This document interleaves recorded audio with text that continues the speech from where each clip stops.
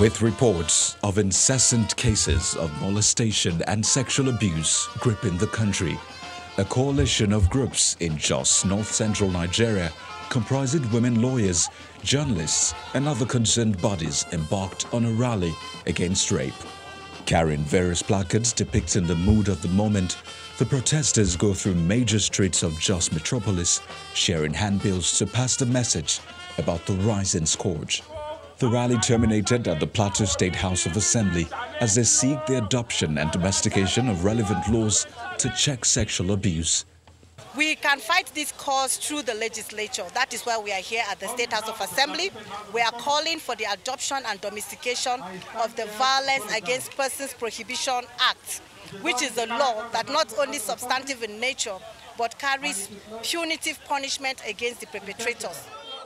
Responding to the demands of the group, the Plateau State legislators assure the protesters of a push for effective laws. We will make sure that the implementations of this law come to full-fledged experiences by all and sundry so that we can at least have some rest. No case of rape should stop at family level. From the north to the southeast, Imo states to be precise, here, the State House of Assembly says it has moved a motion urging the state government to take decisive action by partnering with the judiciary, traditional rulers and security agencies on stiffer penalties for offenders.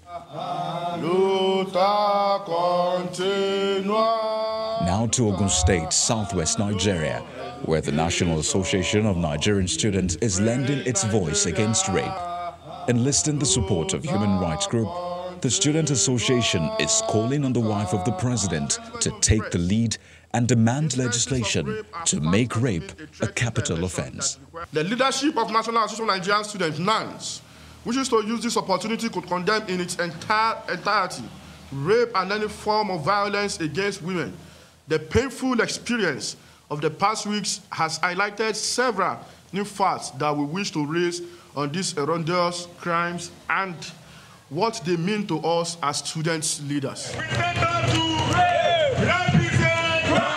Still in the Southwest, student activists and faculty presidents of the University of Lagos have embarked on a walk against the rampant cases of sexual assault.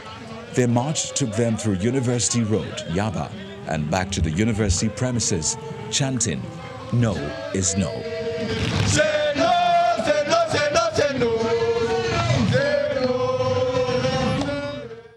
According to the UN Children's Fund, one in four boys and one in 10 girls under 18 have been victims of sexual violence.